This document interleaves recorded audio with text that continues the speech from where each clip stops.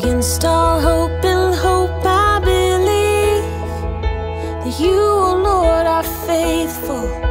You're good and you are able. When it seems impossible to me, your promises are all true. What you say, I know you will do. And I am sure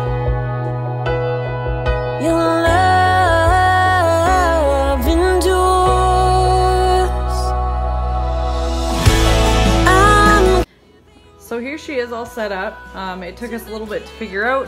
We actually couldn't find the instruction manual. We thought they had forgotten to give it to us.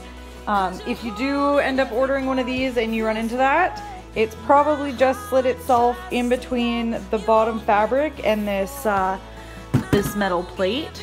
That's where I ended up finding ours. Um, but yeah, so this is great. So up in here, you have a mosquito net, which is perfect for us. Um, Hailey is a mosquito attractant like crazy. So that's really cool. We can pull that down. They also gave us a rain cover, which velcros in place for days when it's raining. Um, it did take us a little bit to figure some things out just because the instructions weren't very clear. The pictures were black and white and not the best uh, um, photos.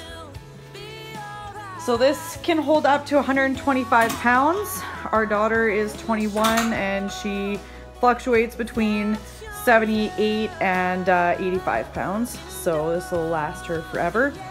Um, so in here, this is a really nice storage, oh sorry, that's a really nice storage area.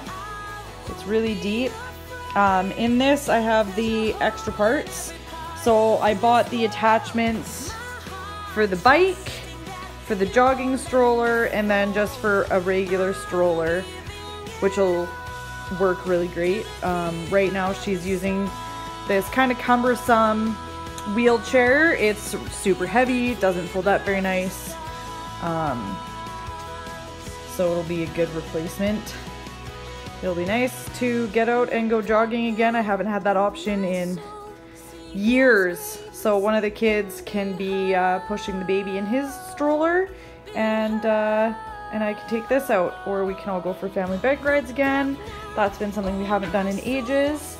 So this folds up too. You just take these pins out. I won't show you right now because I'm the only one manning the camera. So you just take these pins out on either side.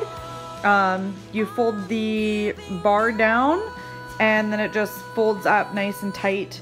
It's still pretty big, obviously. Um, it's designed for an adult, but uh, it'll fit in the uh, in the back of anybody's van.